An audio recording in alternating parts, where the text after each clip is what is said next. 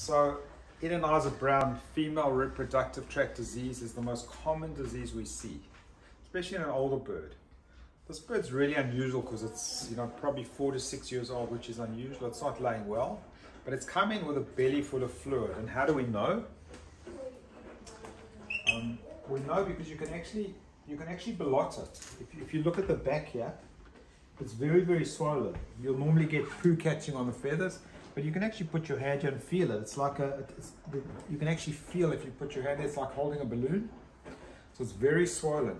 Now birds don't have a diaphragm, so that fluid um, could potentially, if, if, we turn the bird on its back or on its side, it can go straight into the heart and kill the bird. So when our nurse holds the bird, we're going to hold the bird up so we don't get fluid going into the chest, the body cavity. We're going to try and drain fluid with putting a simple catheter in a sterile area. And we'll see what comes out. The bird weighs about two and a half kilos, so let's see how much we can take out. Um, obviously, there can be two main causes for this. Female reproductive tract disease or the ectopic ovulation and maybe egg builds up in the uterus is the more common, but cancer is the other one. I think would you prefer a slightly bigger towel? No, it'll be fine. Okay. It'll be fine. As you know, we're in the peak of COVID now with 500,000 cases in Australia, which is 1 in 80, so we're still wearing masks. Um, miraculously, none of us in the clinic have had COVID yet, which is a bit of a miracle. If you just just get the wings.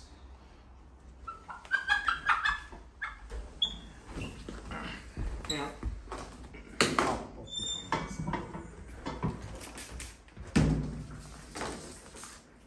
So I'm taking a catheter, and we, as we and as I'm holding, I'm putting no. no pressure on the abdomen. I'm actually supporting the chook from her legs. Now, when I was at school, I used to, when I was young, there was still cowboy movies, and they always had two guns shooting at the same time. So, because it takes a long time to drain, I'm actually going to put a second catheter in as well. Interesting fact about these catheters, these are horse catheters. they are very, very large. If you've donated blood before, that's the size of them. Is there anyone taking one phone call? I need to talk to you about that. So you're watching it drain. So you take a look at the fluid. So you can see that it's a lot of fluid coming out. It looks a little bit like the chicken's ween, but um, it's, a, it's just a very funny picture. You know, to show a chicken pouring urine out both sides. You can't even see the tips of the catheter. So when we've drained this, what we're going to do as part of the treatment, we give something called deslorelin, the doctors watching a GnRH agonist, which goes into the pituitary and it stops the um, production of FSH and LH, follicle stimulating hormone and luteinizing hormone, which then stops the ovaries from producing estrogen and progesterone. So we're inducing menopause. The bird will go in four days' time, which is how long it takes to work. The bird will go straight into menopause.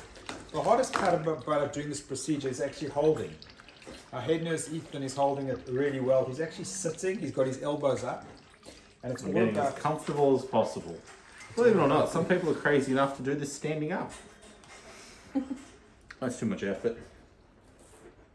So I'm gonna, I'm gonna. It's not urine though, is it? So what I'll be doing? No, this is not urine. So what I'll be doing after this, he'll get an antibiotic, although this is probably sterile fluid. You get an anti-inflammatory because there's going to be a lot of inflammation in this cavity. You can imagine with all this fluid. We'll also give a crop feed because we've lost a lot of fluid. I'll give some fluids to replace something that's been taken out. And a hormone implant, a calcium injection.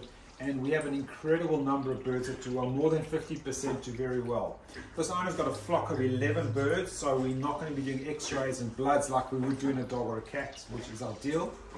But all we're going to do is complete uh, the drainage as much as we can.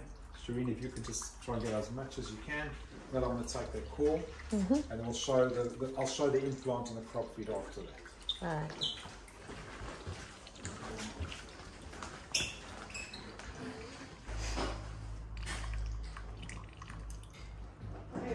You help Phil? Help syringe. Hmm? Syringe? I'm going to show the syringe now, just let you say. Too small. Bigger. You want bigger? Bigger. Alright, you got one. I don't know, you're supposed to make the bird pee on Ethan. I'm the one with full control over where it goes. No, it's wrong. your facial expressions, Mum?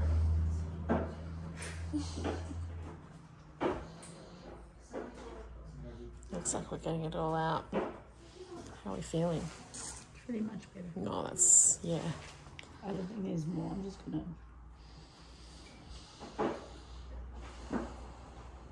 I wonder if you whisk it hard enough. Oh God, oh, Come no. on, show you if you want to do You reckon? We're not going to ask that question. I'll even. You All reckon? right. so what are you doing, Sharini? We're about to, we're about to whisk the fluid that came out. I don't think so. No, we're about to give it an implant. So this is the Des Laurel oh, implant.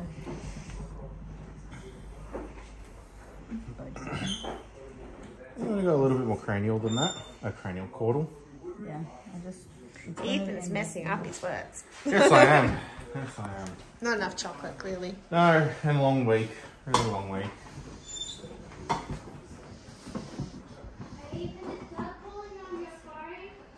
Probably.